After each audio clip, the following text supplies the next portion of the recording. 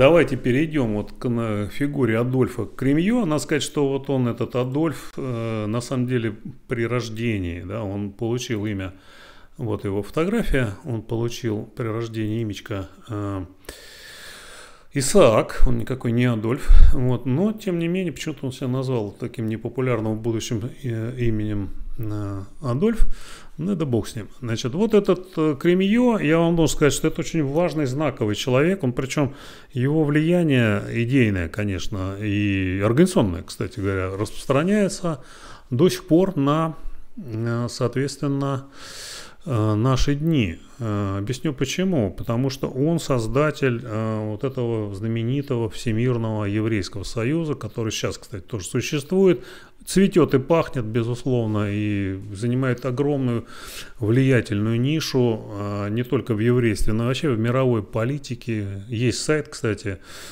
э,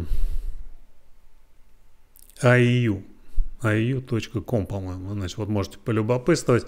И, соответственно, его сейчас называют просто Альянс, вот, как бы так, для краткости. Ну, вот он создал этот Альянс во Франции, в Париже в 1860 году. До этого, просто вот вам э, кратко скажу, что он, соответственно, был масоном, он и остался до конца жизни масоном, но он вступил в масонство в юном возрасте, лет 18 примерно, я там не помню, в 20 э, значит, эм, Великий Восток Франции и, соответственно, где-то лет там 40-50 был э, членом этого ордена, а потом из него вышел, из Великого Востока, и вот его приняли на высокие офицерские должности э, в Верховный Совет э, ДПШУ, то есть он перешел в английскую юрисдикцию, условно, естественно, английскую, значит, Верховный Совет Франции он перешел.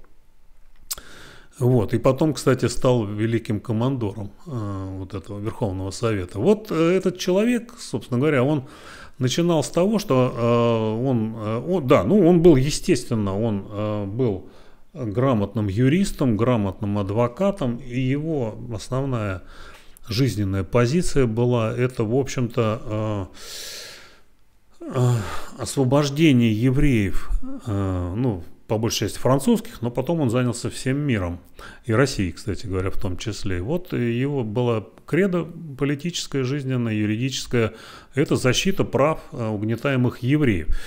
Кто-то будет кричать сейчас, что да, вот они там какие-то там, кто их угнетал. Ну, угнетали же, друзья мои. То есть, конечно, безусловно, евреев и сейчас, в принципе, как бы так, есть э, элементы антисемитизма, нельзя этого отрицать, согласитесь. Поэтому было бы глупо это отрицать. Тем не менее, э, тогда это было более развито. Вот Кремье, на самом деле, он поставил перед собой задачу в ну, скажем, сделать так, э, чтобы у них были равные права с коренными жителями, с французами в данном случае. У него, кстати, была интересная история.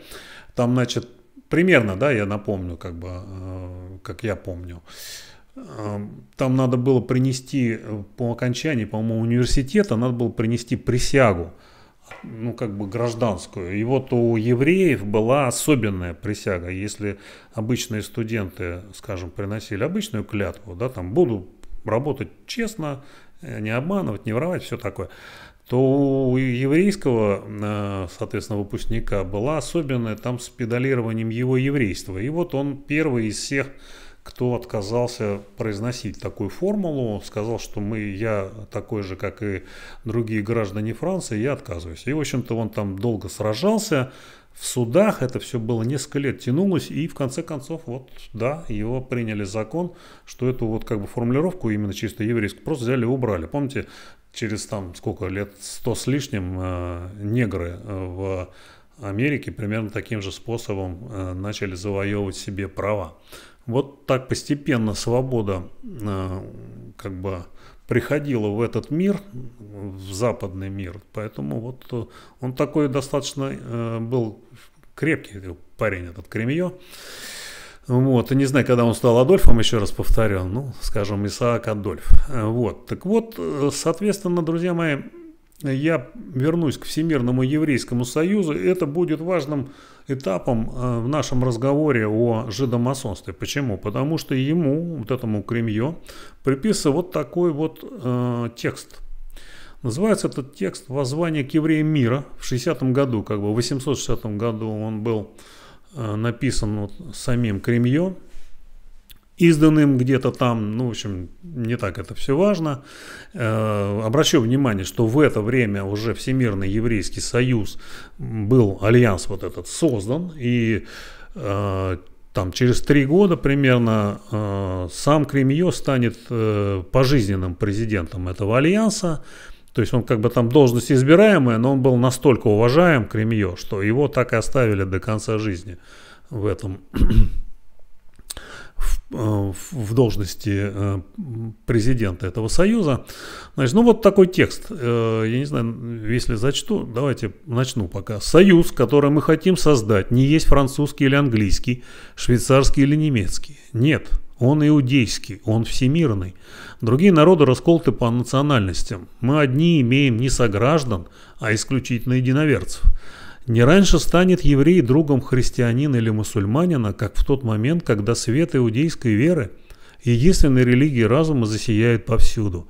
Рассеянные среди других народов, которые враждебны нашим правам и интересам, мы прежде всего хотим быть и неизменно останемся евреями. Национальность наша есть религия наших отцов, и мы не признаем никакой иной. Мы живем на чужбине и не можем заботиться об изменчивых вожделениях этих чуждых нам стран, пока наши собственные нравственные материальные задачи находятся в опасности. Еврейское учение должно наполнить собой мир. Евреи! Сколько бы ни разрабатывала, не раз... Ой, сколько бы ни разбрасывала вас судьба. Нет, давайте сначала начну, а то, как получается, сбился. Евреи! Сколько бы ни разбрасывала вас судьба по всем концам земли, всегда глядите на себя, как на членов избранного народа. Если вы понимаете, что вера ваших праотцов есть ваш единственный патриотизм, если вы сознаете, что вопреки вашим показным национальностям вы повсюду образуете лишь один и тот же народ, если вы веруете, что только иудаизм представляет собой религиозную политическую истину, если вы во всем этом убеждены, евреи Вселенной, то придите и услышьте наш зов и докажите нам свое согласие. Наше дело велико и свято, успех его обеспечен. Католицизм – наш исконный враг. Кстати, обратите внимание, про, славян, про славян, это, про православие ничего не сказал. Лежит ниц, пораженный в голову. Сеть, раскидываемый Израиль поверх земного шара, будет расширяться с каждым днем – и величественные пророчества наших священных книг обратятся наконец к исполнению. Близится время, когда Иерусалим станет домом молитвы для всех народов, и знамя еврейского единобожия взовьется на отдаленнейших берегах. Станем же пользоваться всеми обстоятельствами. Могущество наше огромно. Поучимся применять его к делу. Чего нам страшиться? Уж недалек тот день, когда все богатства земные перейдут в собственность детей Израиля. Ну, э, как бы мы с вами знаем, что это фейковый текст, да, то есть как бы никаких э, больше, кроме вот этого, э, в, был текст напечатан в во французской э, типа стенной газет, ну небольшая газета небольшим тиражом, антисемитик э, назывался, э, сейчас посмотрю, да, антисемитик назывался, причем она уже после смерти Кремье даже была это вот письмо э, Кремье было издано в этой газетке. Ну а потом, кстати, что интересно, в конце века его э, продублировал у себя наш как бы знаменитый Аксаков вот, в своей газете э, «Русь». Вот такая вот как бы история. Ну, э, что тут говорить? Тут, в принципе, давайте так, э, значит, я пок- а, покажу я вам еще эмблему. Да, вот у нас есть такая эмблема. Соответственно, вот, как видите, она немножко масонского вида. Вот это вот, видите, э, жмущая рука, это стопроцентно масонский символ, да, там как бы братство, э, дружба, фройншафт, все такое. То есть это вот над земным шаром, значит, э, евреи жмут себе друг другу руки. Кстати, здесь про масонов, между прочим, ничего не написано у Кремье. У него вот написано только про евреев. Вот, он, э, соответственно, говорит, что легально, да, ну, э, как бы в программных документах, э, соответственно, э, альянса. Ничего вот этого нету. Там, в принципе, внимательно изучали все это. Ну, поверьте, что как бы наоборот э, многие пытались реальность найти какую-то, но вот не удалось найти, только лишь вот газета «Антисемитик».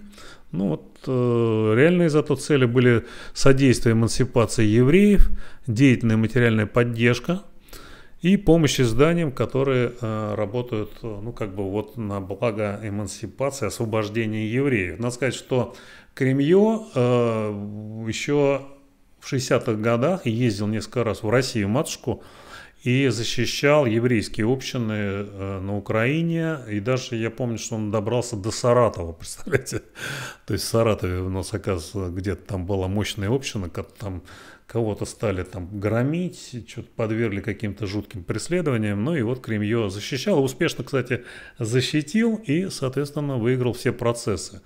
Вот. Он этим занимался успешно по всему миру. У нас, сказать, был какой-то совершенно непреодолимый человек – вот, насчет того, что он был вот этим самым жутким э, каким-то коварным и, соответственно, э, страшным человеком, я бы не стал говорить. Вот. А, ну, от себя могу сказать, да, что, в принципе, Кремье, с моей точки зрения, э, просто способствовал прогрессу, потому что если какая-то группа э, людей, Э, ну, в данном случае связанных некой этнической общностью евреев, э, освобождается от преследований. Все это идет на пользу прогрессу, и мы с вами, в общем-то, в этом довольно быстро убедились, потому что именно евреи, условно говоря, довольно быстро продвинули человечество вперед по пути э, совершенствования цивилизации. Ну, не, не надо там, условно говоря, напоминать огромное количество еврейских ученых, которые создали наш сегодняшний мир, там, начиная там, от каких-нибудь э, Эйнштейнов, да, там, с, и кончая, не знаю, кончая, я даже не знаю,